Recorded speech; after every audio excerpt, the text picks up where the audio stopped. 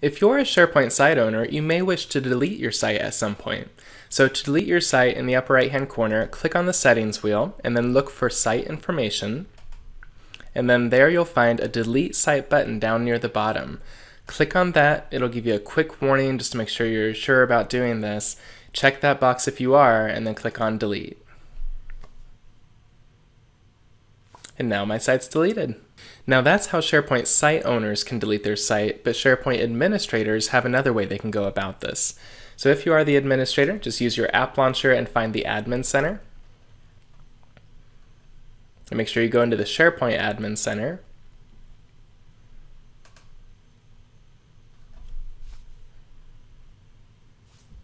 Okay, and here you're actually going to see on the left-hand side under Sites, there's a category for deleted sites and active sites.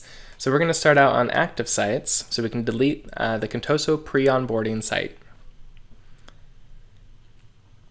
Now if you have a whole bunch of sites, you may wish to search for it. So maybe I'm going to search for onboarding. Okay, I found that Contoso pre-onboarding. I'm Going to select that one and delete. Now just like with the uh, site owner, I get a warning here. This one's telling me specifically I'll have 93 days to re restore it in case I make a mistake here. So I'll go ahead and delete it.